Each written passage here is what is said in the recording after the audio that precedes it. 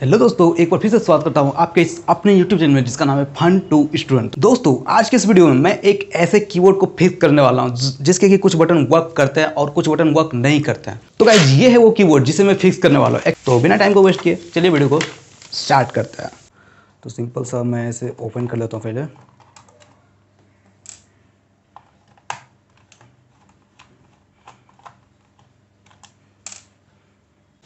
So guys finally ये मैंने सारे जितने नट्स वगैरह इसके ओपन कर दिए हैं। अब टाइम इसे ओपन करने का।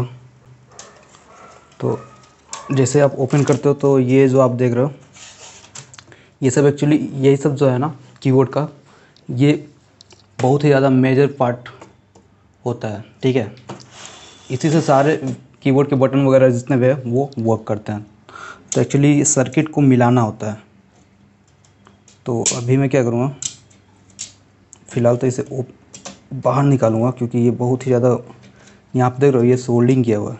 और अगर मिस्टेक से भी थोड़ा सा इधर से उधर हो गया तो फिर बस यही वो जो ये देखो, ये वाली आप देख रहे हो, बस यही है और कुछ नहीं, इसी के ऊपर सारा वो होता है। ज़्यादा कुछ कीबोर्ड में होता नहीं है, ये जो आप देख रहे हो तो डेफिनेटली इससे मैं साइड में रखूँगा बहुत अच्छे से। और उसके बाद फिर ये सर्किट जो है, इसे मुझे मैच करने होंगे, ठीक है? तो एक्चुअली मैं इसे बाहर निकाल लेता हूँ थोड़ा सा। ये देखो। देखो, ये जो सर्किट है, ठीक है? अब मैं इसे पहले चेक करूँगा कौन, कहाँ कहाँ पे ये सर्किट इनकम्प्लीट है और कहाँ कहाँ पे ये कंप्लीट है। तो उसके लिए मैंने मार्केट से एक छोटा सा बल्ब बाय करा ये देखो। और बैटरी भी मैंने बाय करा था। और एक्चुअली ये जो है ये मुझे हेल्प करेगी ये जानने में कि कहाँ पे सर्किट इनकम्प्लीट है और कहाँ पे सर्किट कंप्लीट है ठीक है? तो फ़िलहाल तो मैं इसे टेस्ट करता हूँ कि जल रही है या नहीं। तो एक्चुअली ये पूरी अच्छे तरीके से जल रहा है। तो फिर अब क्या करना है मुझे? हम्म, अब मैं ऐसा करूँगा ये सर्किट का एक पार्ट कंप्लीट रखूँगा और एक पार्ट इनकम्प्लीट रखूँगा ठीक है? तो ये मैंने कनेक्शन कर लिया है।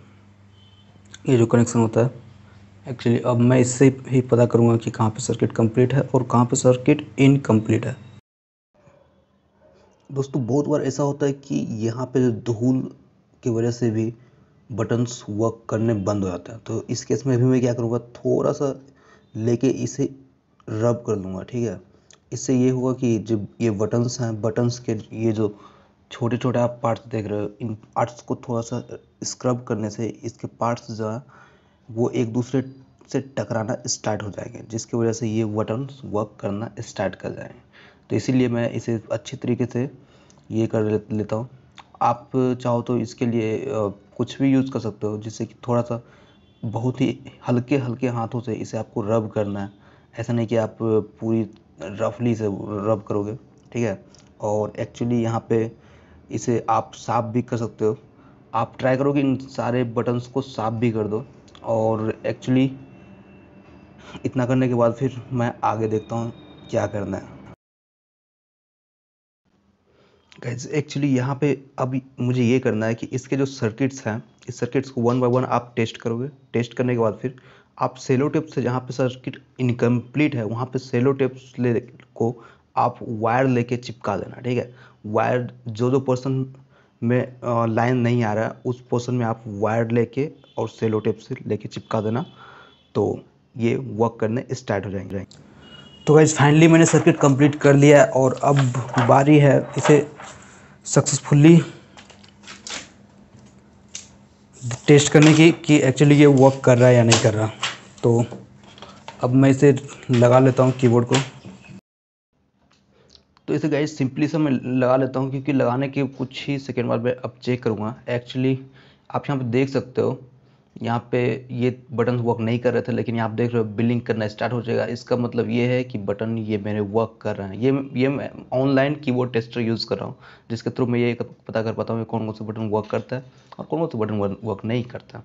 तो आप देख सकते हो गाइस जो जो बटन मेरे वर्क नहीं करते थे, वो सारे बटन वर्क करना स्टार्ट कर दिए हैं। तो आई होप ये वीडियो आपको पसंद आएगा पसंद आए तो वीडियो को लाइक करना चैनल पर नए पहले विज़िट करो सब्सक्राइब करना। मिलता हूँ फिर एक नए वीडियो में।